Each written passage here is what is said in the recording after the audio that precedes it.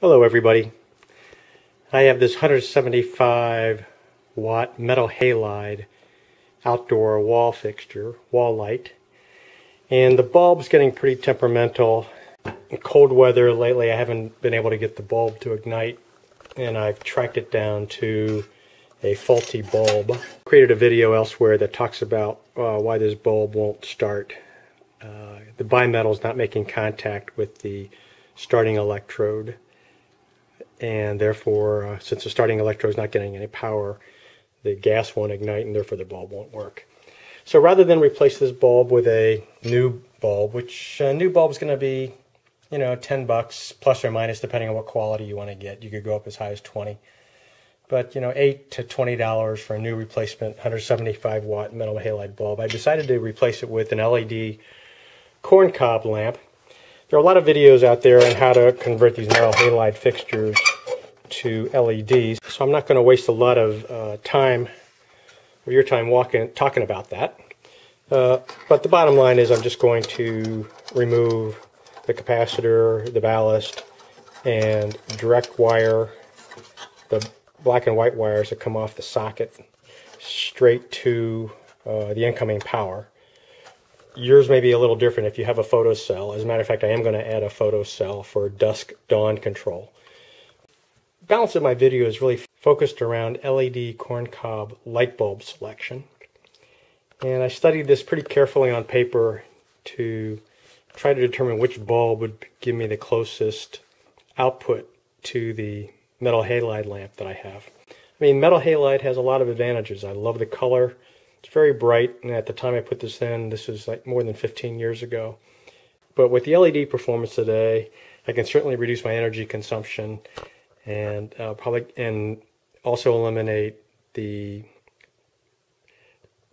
time delays associated with cold starts and restrikes and things of that nature. So all those disadvantages of metal halide go away with the LED as best I can tell. We'll see in the performance here shortly. So step one in the process is you got to figure out which base you have on your lamp.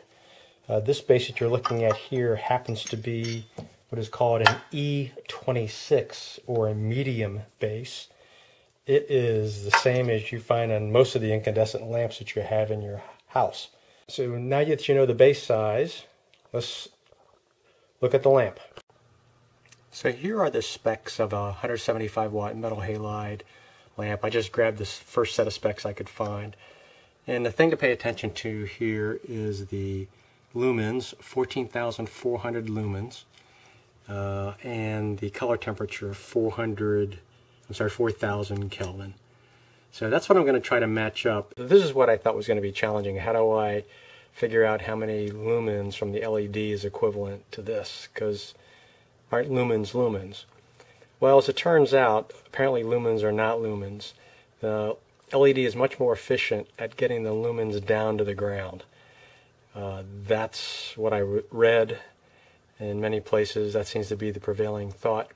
So that would suggest that you can get by with fewer lumens than 14,400 and still get approximately the same amount of light at the ground, which is candidly all we care about, right? We care about light at the ground. So here are the specs for the LED corncob light that I purchased. That it's going to have a color temperature of somewhere between 2700 and 6500 Kelvin. It's going to be somewhere between 4800 and 5200 lumens.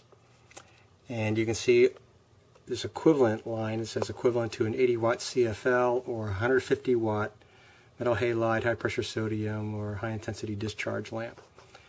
So based on that, I have selected this bulb. It's a 40 watt and we'll see how it performs. Well, I've run into a few problems. It looks like nothing's ever simple. Here's my original lamp and here's the LED lamp. I was focused much more on performance and cost as opposed to size. I could have spent perhaps twice as much money and got a little bit smaller bulb. So it looks like it'll fit in the housing, but that means uh, this bracket here for this is too flimsy, so the lamp doesn't, and this because of the weight of the bulb, the lamps doesn't want to rest horizontally. So there's a lot of it wants to wants to uh, rest like this. So you can see that that's not going to be satisfactory to me. So I'm going to beef up this bracket here. I'm going to have to modify the reflectors just a little bit. Uh, but everything will fit in. I did have to take out the old uh, starting circuit. I was planning on leaving that in case somebody wanted to convert it back to a metal halide, but that plan is out for now because of the size of the bulb. And I want to be able to move, keep all the reflectors in place, even though I'm going, I'm going to adjust them and move them around a little bit. I'll get this bulb in, it'll be done right. So I'm not going to show you all I'm going to go through. I want to get this project done and spend more time getting it completed, getting the project completed than videotaping, but as you can see here, it all fits. I just have to get the reflectors in. Well, I have the light fixture mounted back on the house, but the retrofit was not quite as easy as I had expected. The first problem I ran into was the light is so heavy that the aluminum brackets that were holding the lamp holder were too flimsy to hold the light at a horizontal position. So I had to beef up the aluminum brackets with steel brackets. Uh, the second thing I had to do is I had to relocate the lamp holder because that corncob light is so much larger than the metal halide bulb. And then lastly, I had to move the reflectors around a little bit to accommodate the larger bulb. I actually uh, ended up losing my end reflectors, but uh, I have reflectors all the way around the bulb, but not on either end. So we'll fire it up later on this evening and see uh, what it looks like. Well, this is the first chance I've had to look at the light at night, and I'd have to say I'm very happy with it.